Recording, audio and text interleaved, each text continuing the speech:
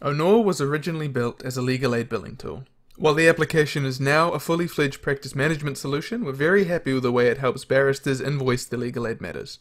Let's bill an opposed bail application for our fake client John Doe. The application knows that this is our first invoice for the matter, so it adds preliminary work by default.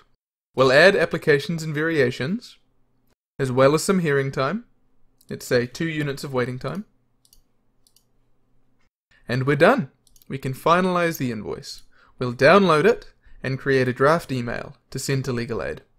My one will come out in Gmail as that's the application I use, but if you use Outlook or anything else, it will work just as well.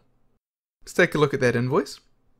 Comes out looking great, exactly as you'd expect, with all the information that Legal Aid needs. The last thing I wanted to show you was what happens to the information after we're done.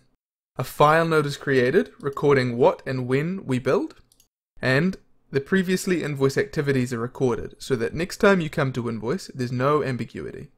To learn more, go to dashboard.aunoa.nz, the link is in the description. Thanks very much, have a great day.